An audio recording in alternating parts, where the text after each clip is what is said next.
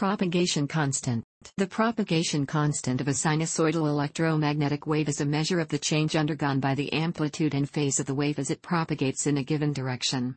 The quantity being measured can be the voltage, the current in a circuit, or a field vector such as electric field strength or flux density. The propagation constant itself measures the change per unit length, but it is otherwise dimensionless.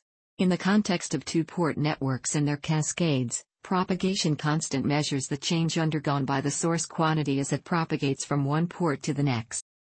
The propagation constant's value is expressed logarithmically, almost universally to the base e, rather than the more usual base 10 that is used in telecommunications and other situations.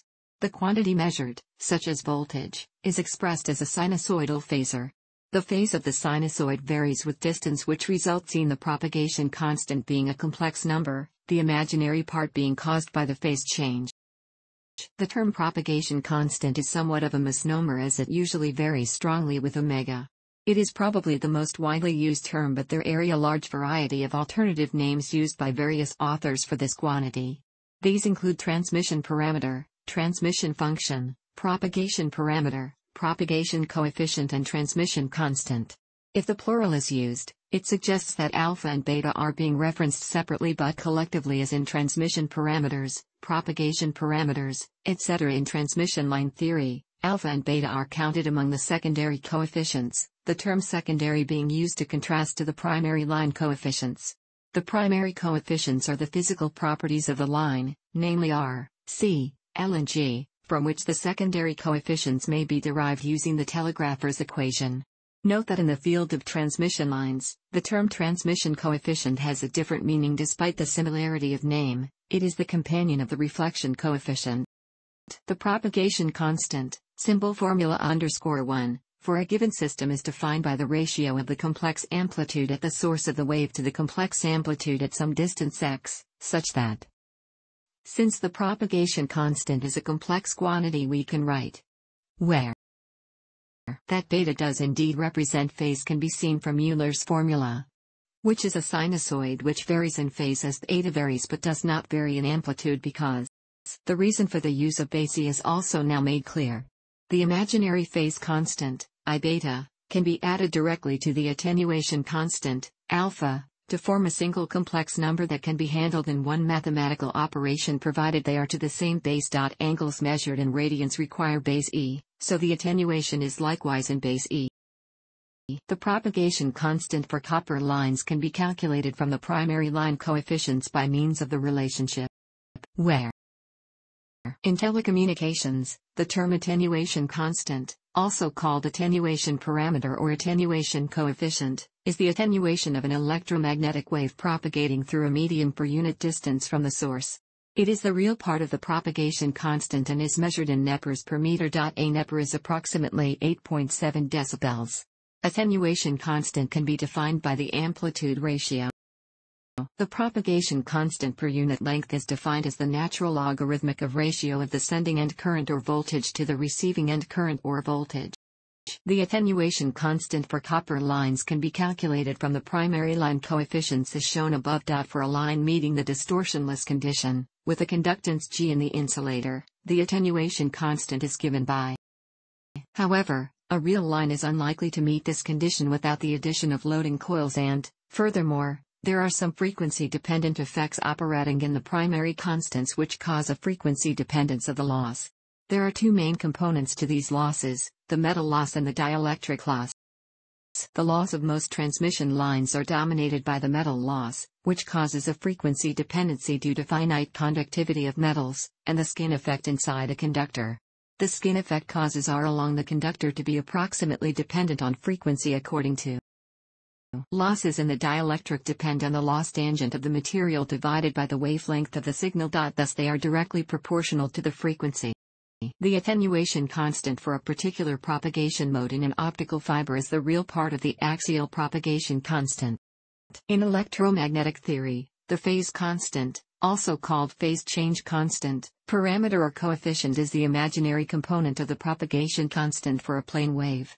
It represents the change in phase per unit length along the path traveled by the wave at any instant and is equal to the real part of the angular wave number of the wave.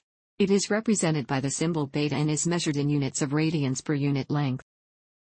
From the definition of wave number for TEM waves. For a transmission line, the Heaviside condition of the telegrapher's equation tells us that the wave number must be proportional to frequency for the transmission of the wave to be undistorted in the time domain.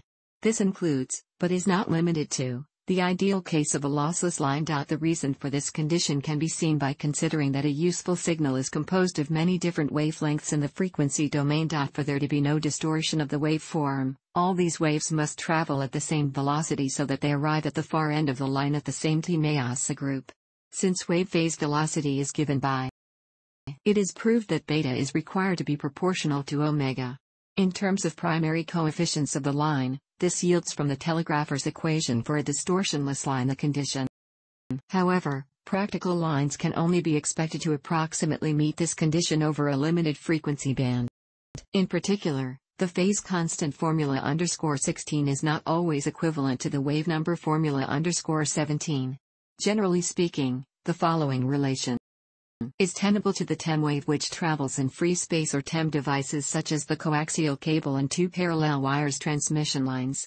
Nevertheless, it is invalid to the TE wave and TM wave. For example, in a hollow waveguide the TEM wave cannot exist but TE and TM waves can propagate.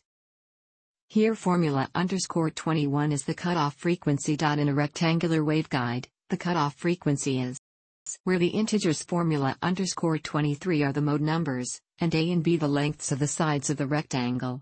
For TE modes, formula underscore 24, while for TM modes formula underscore 26. The phase velocity equals.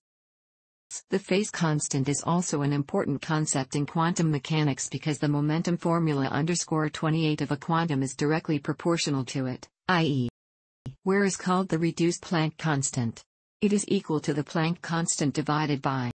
The term propagation constant or propagation function is applied to filters and other two-port networks used for signal processing. In these cases, however, the attenuation and phase coefficients are expressed in terms of nepers and radians per network section rather than per unit length. Some authors make a distinction between per unit length measures and per section measures.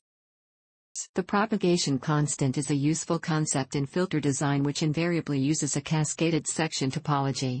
In a cascaded topology, the propagation constant, attenuation constant and phase constant of individual sections may be simply added to find the total propagation constant etc. The ratio of output to input voltage for each network is given by the terms formula underscore 33 are impedance scaling terms and their use is explained in the image impedance article. The overall voltage ratio is given by, thus for n cascaded sections all having matching impedances facing each other, the overall propagation constant is given by. The concept of penetration depth is one of many ways to describe the absorption of electromagnetic waves. For the others, and their interrelationships, see the article, Mathematical Descriptions of Opacity. Thanks for watching. Don't forget like the video and don't forget to subscribe.